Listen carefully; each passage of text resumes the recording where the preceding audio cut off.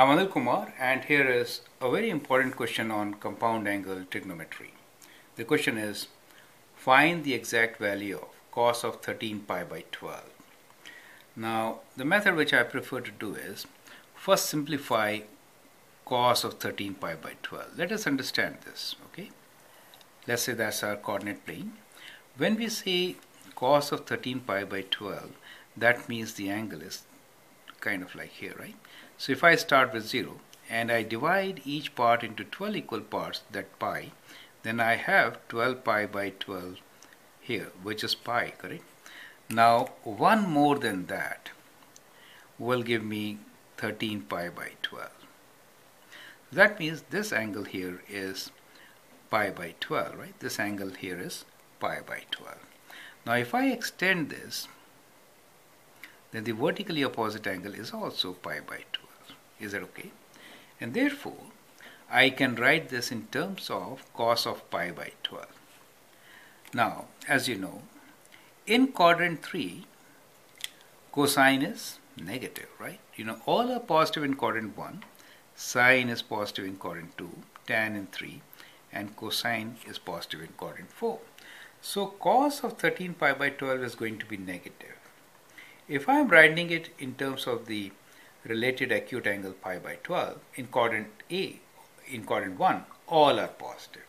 And therefore, I have to write this cos of 13 pi by 12 as equals to negative cos of pi by 12. Right? This is very important to understand, right? So, in a way, those of you who know fairly well, this is writing as correlated angles, right? So these are correlated angles. So that's not an issue. But here is the concept which I'm trying to explain. And that's a very important concept. Now, we could write pi by 12 as combination of two angles which we know about.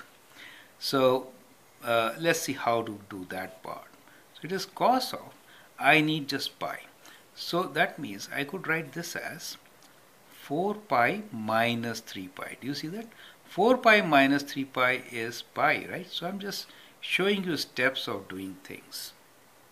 4 pi minus 3 pi and I can rewrite this as cos of 4 pi over 12 right normally when you're doing it in exam you don't have to show all these steps but for me so that it's clear to all my viewers on internet it is important.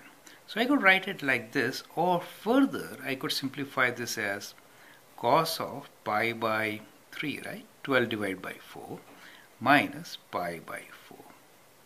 So that is what you get. Well some of you could have written it directly from here that cos pi by 12 is cos pi by 3 minus pi by 4 right but I want to explain you how easily we can actually get the combination now once you have the combination, then you can apply the compound angle formula for cos pi by 3 and then solve, right? So that's, that's the issue.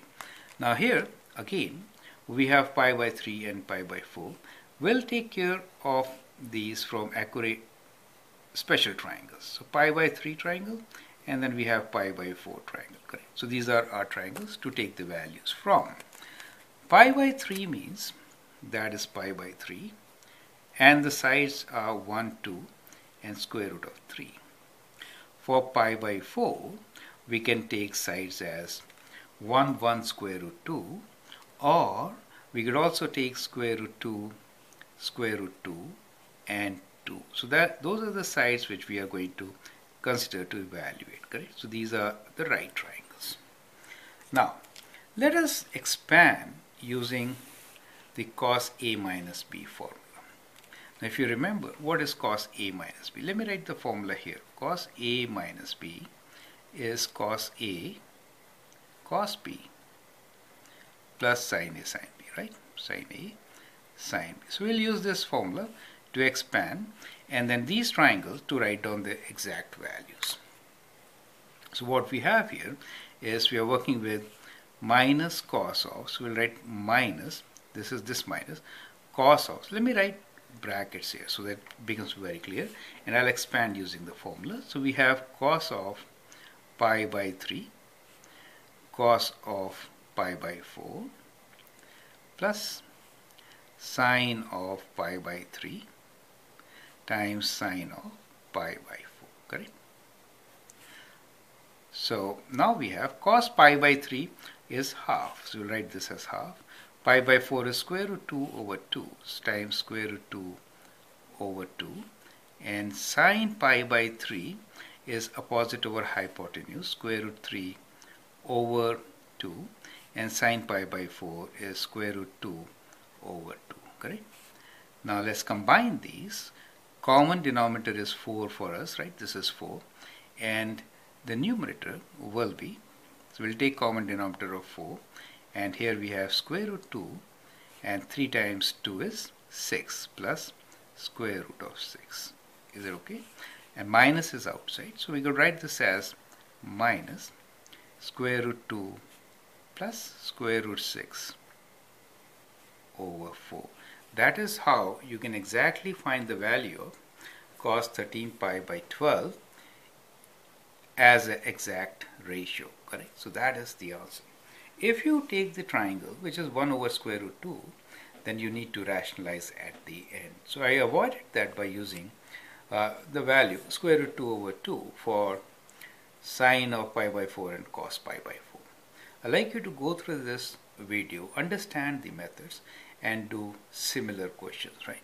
You could now also do as a practice question, let me write your question now. Evaluate and find the exact value of sine 23 pi by 12 right? So you can find exact value of sine 23 pi by 12 I hope that helps. Thank you and all the best